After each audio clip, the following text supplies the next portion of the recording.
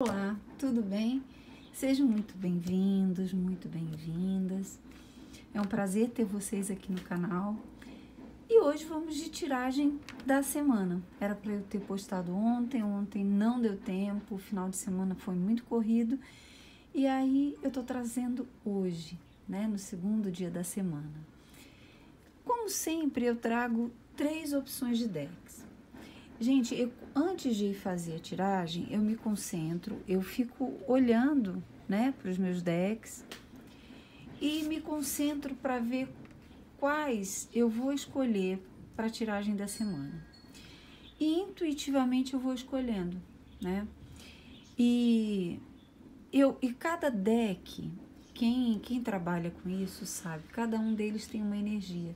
Então eu acredito muito que a pessoa quando ela vai se conectar, ela vai se conectar não só com a energia daquele deck, como a tiragem que já foi feita, né? Porque é um vídeo gravado. Então, se concentre no verso de cada deck. Observe qual deles captura a tua atenção. Não pela estética. Às vezes você pode não gostar da estética, mas você se sente atraída por ele, tá? Então preste atenção nisso. Vou usar também um oráculo, deixa eu tirar daqui. Vou usar também um oráculo para fechar a leitura.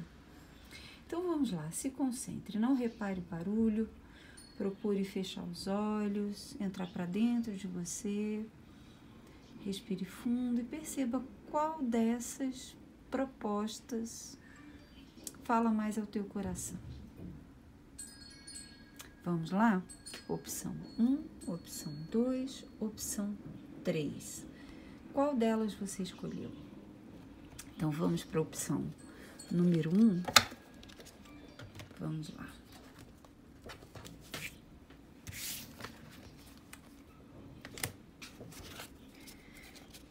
Reparem que fica cheio de plantinha. Enquanto eu bato na plantinha aqui, cai um monte de florzinha velhinha.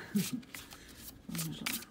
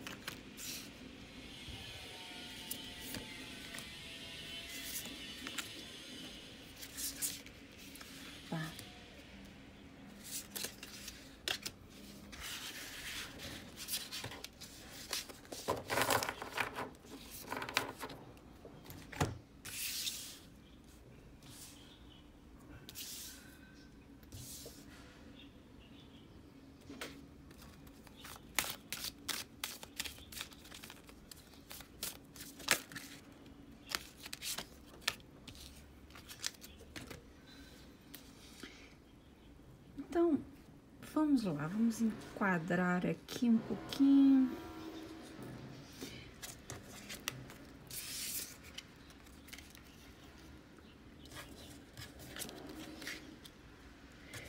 Bom, a energia da semana, ela vem falando que você, essa semana, talvez seja convidado a fazer coisas que, que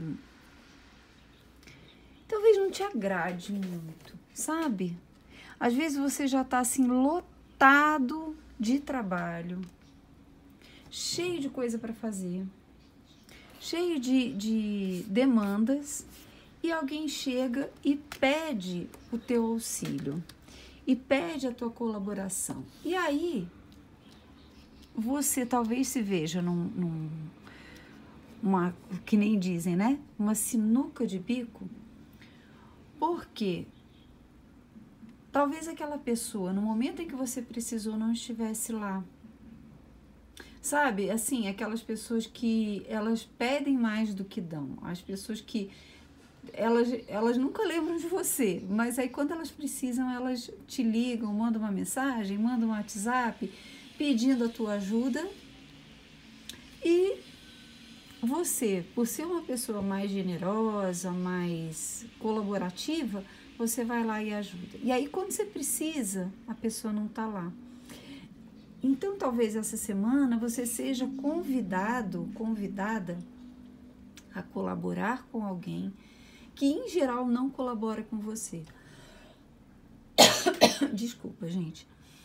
Uma outra possibilidade é talvez você esteja com algumas questões financeiras que precisa de uma atenção maior. E essa semana, você trabalhando duro, você pode conseguir quitar algumas dívidas, tá? Pode, é, é, pelo menos parte delas. Pode entrar um dinheiro, pode alguém te ajudar, você pode até pedir um empréstimo, pedir um auxílio e isso vai vir para você. Ainda que não completamente, ainda que não consiga quitar tudo, ainda que não consiga resolver tudo da forma como você deseja, mas uma parte, pelo menos metade, você já consegue é, resolver essa semana, tá? É uma semana em que a tua vontade vai estar tá muito forte de avançar, vai estar tá com muita gana de ir além daquilo que você já sabe, além daquilo que você pode, que você conhece. É, é, a energia da semana vai favorecer esses movimentos, principalmente internos, na direção da tua vontade. Ainda que você tenha alguns impedimentos, vá sabe? Busque essa energia dentro de você, essa energia da vitalidade, da força, da ambição saudável. Isso vai te ajudar muito, né? Ainda que não seja dentro das condições ideais que você quer para sua vida, vá. Aqui fala muito de, de pessoas que podem vir do teu passado e reaparecer, podem te é, ajudar de alguma forma, podem ser essa força que te dão incentivo. Às vezes, a ajuda das outras pessoas nem sempre é através do dinheiro ou de um ato especificamente, mas da amorosidade, da entrega carinhosa, de uma palavra, de um ombro amigo, de um consolo. Então, se tiver puxado demais essa semana, busque naqueles amigos, naquelas pessoas queridas que, que você sabe que pode contar, busque esse apoio, busque essa ajuda. Você com certeza vai encontrar o reforço energético, o reforço vital que você precisa para dar conta dessas dificuldades que podem surgir, tá? E olha, é, a semana fecha de uma forma muito positiva, muito positiva, trazendo para você esperança, trazendo para você é, um fôlego novo. Então, às vezes, quando a gente está com, principalmente questões financeiras, né, gente? Todo mundo, eu acredito, todo mundo que busca esse tipo de leitura, por exemplo, tem um pezinho na espiritualidade, né? A gente sabe disso. É, então, é, dependendo do teu grau de espiritualidade, vai, vai ficando uma, um conflito, o quanto eu posso ser ou devo ser espiritual, o quanto eu posso ou devo ser material. Nós somos os dois. Nós somos matéria, nós somos espírito. As vidas, na verdade, são uma vida só, que se mesclam entre mundo denso, ou seja, encarnação, e mundo espiritual, onde estamos em essência. Mas ainda assim, temos porções materiais. Poucos são os espíritos que já não têm mais necessidade de encarnar, já se livraram da densidade dos corpos sutis. Então, nós ainda temos necessidade da matéria e ela é sim maravilhosa. Eu levei muito tempo para entender isso. Imagina uma capricorniana com zero de ambição na vida. Essa sou eu. Então, eu nunca, nunca me identifiquei é, com o signo de Capricórnio porque eu nunca tive ambições materiais. E é claro que a vida responde a isso, com dificuldades.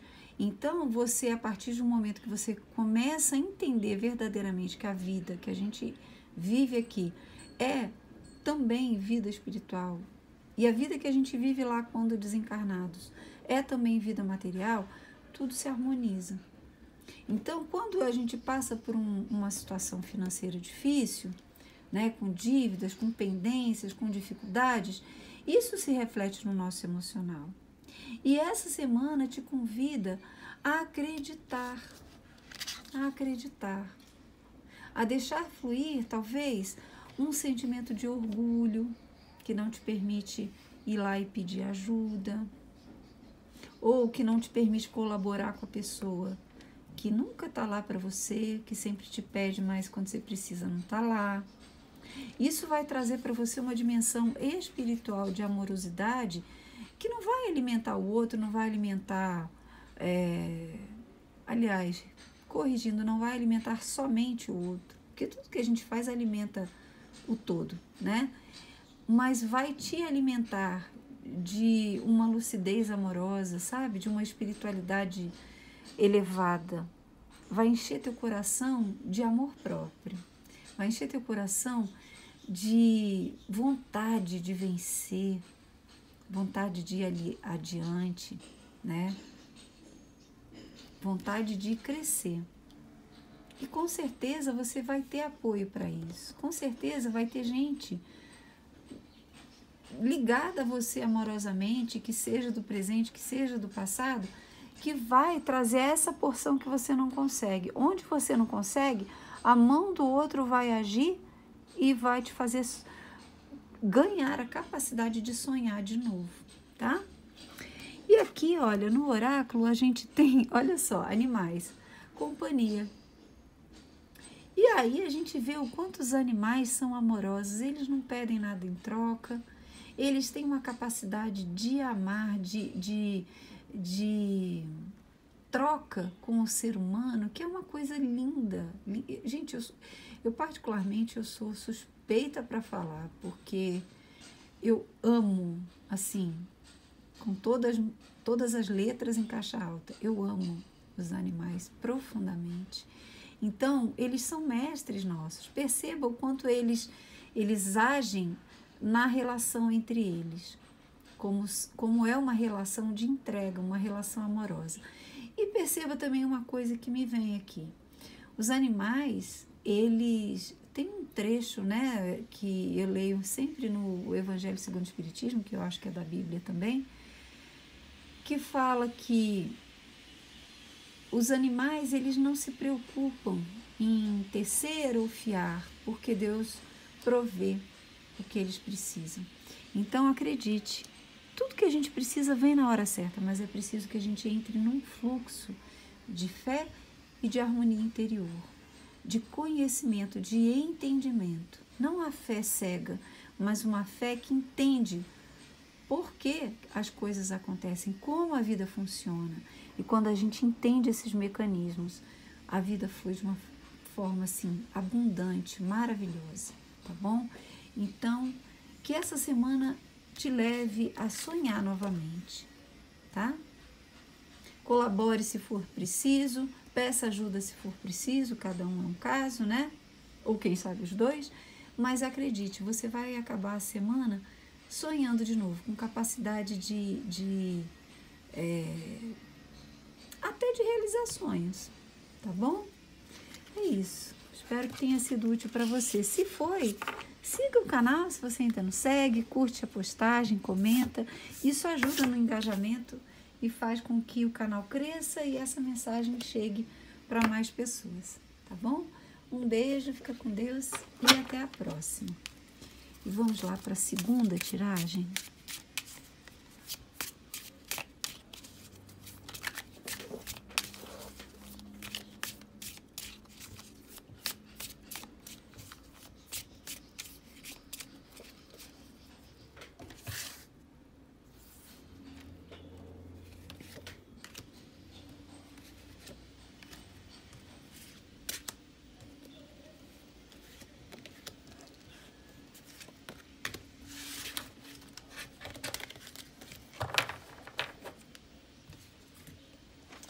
Vamos lá para o oráculo.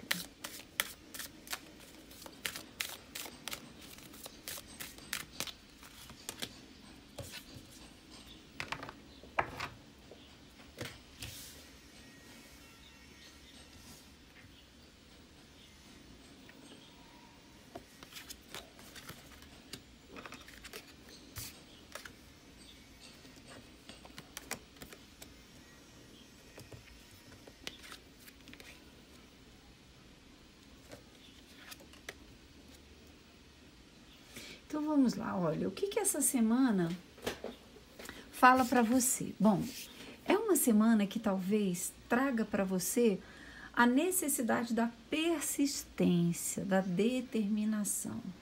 Não é uma semana para que você tenha pressa de ver o resultado das suas ações. É uma semana de trabalho, trabalho duro, trabalho é, sistemático, sabe? Rotina. Por quê? A gente acha a rotina ruim, né? Cansativa.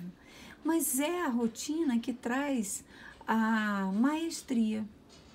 Você já pensou que um marceneiro, por exemplo, ele só vai conseguir ser um excelente marceneiro se ele praticar, praticar, praticar, praticar incansavelmente, determinadamente e sem pressa de ver resultados? Então, aqui, essa semana te fala isso. Trabalhe. Não esteja focado ou focada naquilo que você desejaria que fosse. A vida é do jeito que é. Às vezes é difícil a gente entender isso. E às vezes há movimentos na vida que fazem com que a gente diminua o ritmo. E não é motivo para você se angustiar, se perder em, sabe, em loopings mentais que fiquem ali te atormentando. Não. É hora de ser prático, de entender, olha, a vida está me pedindo isso e é isso que eu vou apresentar para a vida. Quanto mais você ficar no campo das ilusões, no campo daquilo que eu quero, sem colocar a mão na massa, pior vai ser.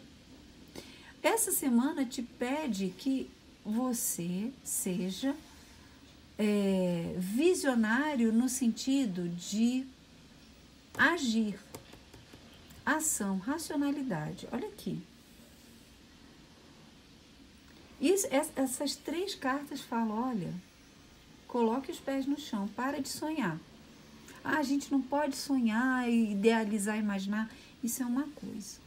Quando a gente coloca para o futuro aquilo que a gente almeja, é muito bom, isso dá força, dá ânimo, dá coragem. Mas quando a gente fica só no campo, ah, eu quero isso, eu quero aquilo, eu quero aquilo outro, poxa, minha vida seria tão melhor se fosse assim. Infelizmente, gente, ou felizmente para o nosso crescimento aprendizado como seres de luz que somos, né? Nosso, na nossa expansão é, consciencial, nós estamos imersos numa lei de ação e reação.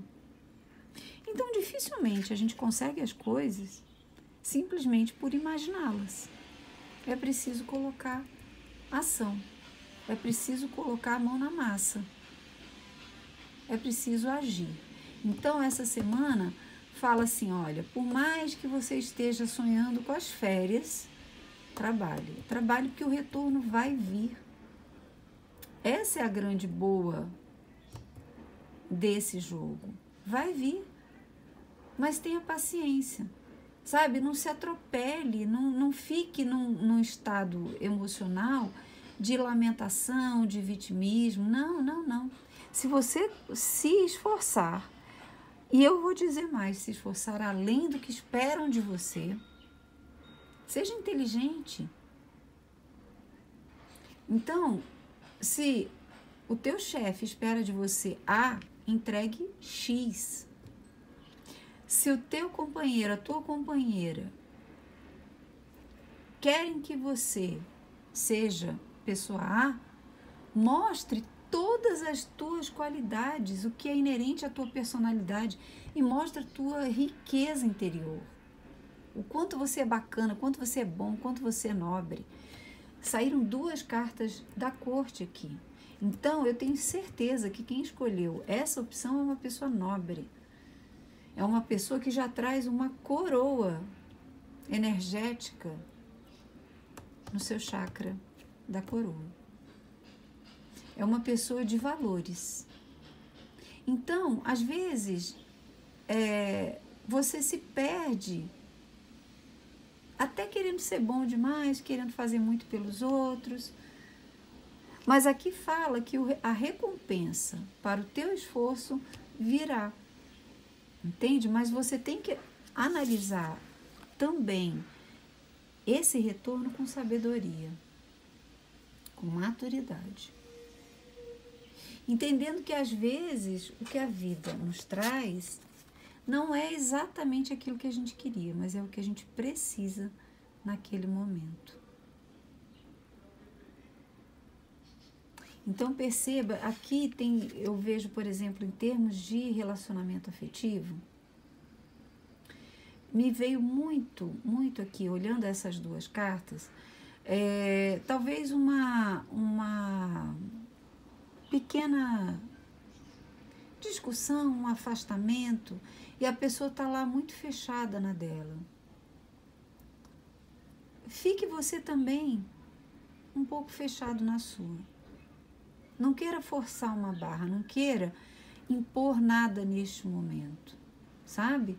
Aqui fala: olha, vai com cuidado, mostre o seu valor, mas permita que a outra pessoa responda isso no tempo dela tá? Não, não vá querer forçar situações. Não é hora de você forçar nenhuma situação. É hora de você perceber as tuas motivações internas, tanto seja na área do trabalho, seja na área é, afetiva, seja na família. Você tem valor. Mostre o seu valor e permita que as outras pessoas reconheçam ou não no tempo delas. Mas saia das expectativas, saia de um emocional que se coloca no vitimismo ou se coloca é, aberto até para companhias espirituais menos agradáveis. Essa carta fala muito disso. Mantenha-se firme, mantenha-se forte, mantenha-se coerente. Eu vejo esse jogo falando muito de coerência. Quem é você? Essa aqui sou eu. Então, é essa pessoa que vai estar presente na minha semana. E não aquilo que os outros pensam que eu sou, que eu gostaria que eu fosse, ou que eu mesma fico me perdendo se eu deveria ser ou não. Aqui fala de firmeza de caráter. Então, seja firme essa semana.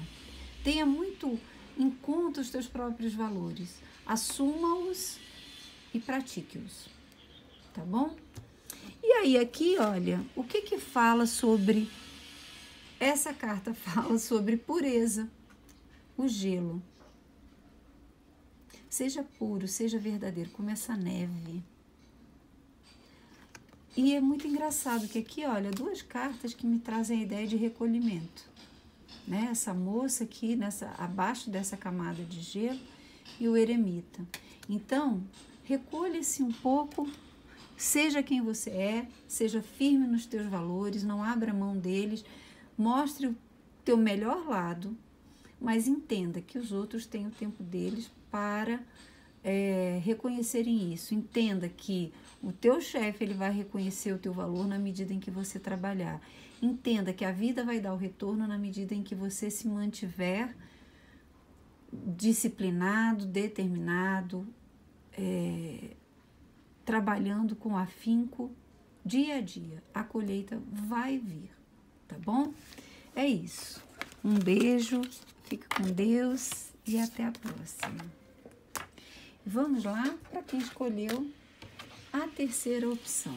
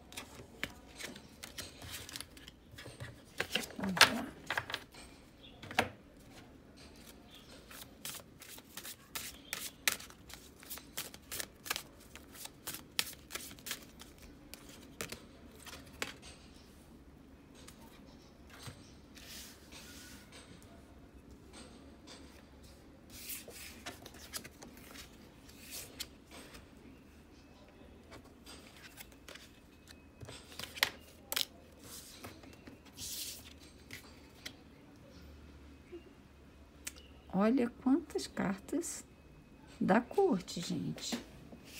Então vamos lá, olha, aqui é, Essas cartas me falam que talvez essa semana seja é, desafiante em relação à tua convivência familiar. Só família? Não, pode ser um grupo é, que você frequenta, religioso, ou o ambiente de trabalho. Mas aqui tem muito de emocional, então eu, descartaria um pouco, a não ser que você se relacione muito bem e o teu ambiente de trabalho seja quase uma realmente uma irmandade, uma família, eu traria essa leitura mais para grupos em que há muito envolvimento afetivo emocional.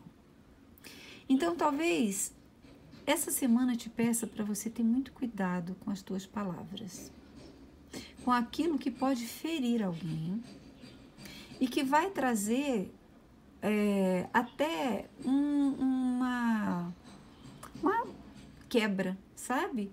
De relacionamento. Cuidado com o que você ouve e transmite. É muito comum em qualquer grupo, gente. Isso é do ser humano, né? Um fala que ouviu que o outro falou e, e blá blá e blá blá. E a gente sabe que cada quem conta um conto aumenta um ponto, né, gente? Aí eu entrego minha idade, veinha, veinha. Esse tipo de ditado é ela de Cabral, quase. Mas é verdade, cada um que vai falar alguma coisa vai colocar uma interpretação pessoal naquilo ali. E aí, quando chega nos ouvidos de alguém, já está assim, 90% distorcido do que é a realidade.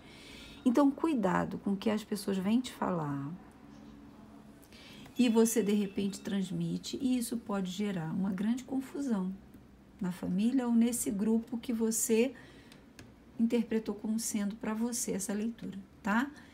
Algum grupo cujos laços afetivos são fortes.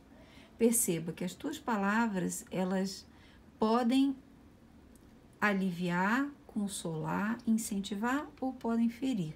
E essa semana te pede maturidade com aquilo que você vai falar, com as notícias que você vai dar, com é, o tipo de abordagem que você vai ter com as outras pessoas. Cuidado para não ferir e não causar separações, tá? Veja, aqui eu falo como eu falei na segunda. Olha a quantidade de cartas da corte. Então, aqui eu sei que você é uma pessoa de valores nobres. Eu sei que você é uma pessoa, né? Olha aqui, rei de paus, rainha de ouros, cavaleiro de paus, pajem de espadas. Poxa, tem muita coisa em jogo aqui essa semana para você. Então tenha muita atenção. O rei de paus, ele é a própria luz, a própria força. Ele, ele domina através da sua luz interior, dessa vitalidade, dessa capacidade que ele tem de construir e de destruir. E essa semana te pede que você se concentre muito bem na tua capacidade de gerenciar conflitos, gerenciar situações estressantes, gerenciar até brigas em família ou nesse grupo, né? Porque aqui essa carta dentro da minha do meu método aqui, da minha forma de jogar, essa carta tá negativa. Então, perceba que você pode construir ou pode destruir. E é claro que ninguém vai escolher destruir, né? Conscientemente, ainda mais uma pessoa nobre assim. Perceba que a tua o, o gerenciamento dessa crise que pode vir essa semana vai depender da tua amorosidade, da tua compreensão, da capacidade de oferecer o colo sem ser imatura nas palavras. Gerencia essa crise. É, o que me vem aqui é que essa crise não é sua especificamente, sabe? Mas se for, o conselho serve da mesma forma. O que me vem muito é, talvez você seja chamado ou chamada a intervir numa questão familiar ou a intervir numa questão nesse grupo afetuoso aqui, né? Grupo afetuoso é bom, né? Mas vocês entenderam. É, então, intervenha com nobreza. Não cause separação, não cause mais é, briga, mais dissensão, mais conflito. Use da tua sabedoria. Olha quanto de sabedoria e amorosidade tem aqui. Isso vai te levar a, a, a sentir um amor próprio tão grande, sabe? A reconhecer que você teve a capacidade de intervir e que aquela situação, por tua causa, se desenvolveu de uma forma mais saudável, mais fluida, mais amorosa. É um jogo muito positivo, muito, muito positivo. Não deixe essa peteca cair. Não caia na tentação de fazer fofoquinha, sabe? De criar mais é, intriga na cabeça dos outros. Não faça isso. Isso vai gerar uma grande dor para muita gente. Preste atenção no que você for falar essa semana e o resultado vai ser excelente. Excelente. Você vai conseguir perceber o poder que as palavras têm. Você vai conseguir colocar na vida toda a nobreza que tem dentro de você. Né? Essa rainha aqui, olha, que é o conselho do jogo, ela é muito sábia, ela é muito coerente, ela sabe o que alimenta na vida e o que não alimenta. Ela sabe o que é, é semente boa e o que é semente ruim. Olha aqui, ela tá com nesse deck, né? O ovo é o símbolo de pentáculos ou de ouros. Então ela sabe o que ela vai cozinhar para nutrir as pessoas é da melhor qualidade. Ela não vai pegar um ovo podre, ela não vai pegar uma semente estragada para fazer a plantação dela. Entenda que isso tem muito a ver com o teu futuro também. O que, que você quer plantar para o futuro? E o que a gente planta na vida dos outros, a gente planta na nossa, gente. A egrégora que a gente se une que a gente vai ter no futuro. Eu costumo dizer sempre: afinidade é destino. Então, às vezes, eu tenho as minhas conveniências pessoais que me fazem me adaptar a coisas que não são tão boas, acreditando que aquilo ali vai ficar no âmbito externo. Mas não, tudo com o qual a gente se afiniza faz parte da nossa vida. E essa semana te convido a prestar muita atenção nisso, ao que você diz, as verdades que você carrega como suas, a análise que você faz das pessoas, as críticas que você lança, ao uso que você faz da palavra nas relações. Então, escolha ser nobre, escolha calar se for o caso. Isso vai gerar para você grande, grande progresso. Progresso interno, progresso externo sabe? Você vai ver assim, pô, a educação que eu recebi dos meus pais, valeu, tá me levando longe. A, a, aquilo que eu escolho viver na vida é através da luz.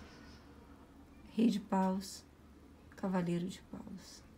Luz, vibração, positividade, otimismo, beleza, luz, luz, luz. Essa semana você tem que acender a sua luz interna. E aqui o que que fala no oráculo? Criação, água. Olha que linda essa carta. Gente, eu amo esse oráculo. Aliás, eu amo todos. Ai, acho que não tem nenhum que eu não amo. É, não, tem um sim que eu não gosto muito aqui. Mas é, esse aqui é maravilhoso. É uma senhora já e ela continua criando. Ela continua criando, só que ela cria com sabedoria. É ou não é a rainha de ouros? O elemento pode não ser o mesmo, mas eles se completam. Dentro da cosmologia chinesa, a gente vê que todos os elementos se conversam entre si. a, a terra sem água se torna pó, dura, seca, não cria nada. Então aqui a água vai regar as tuas criações. O teu emocional vai regar as tuas criações. E a sabedoria de uma pessoa mais velha, assim como essa rainha, ela vai gerar criações maravilhosas, criações de paz. A paz que você vai querer empregar para que não haja separações, brigas, conflitos. Entende como todo jogo se conversa? Seja pacífica, seja amorosa, seja sábia. Essa carta resume perfeitamente toda a leitura, tá bom? Então é isso. Eu espero que você tenha gostado, que seja útil para você.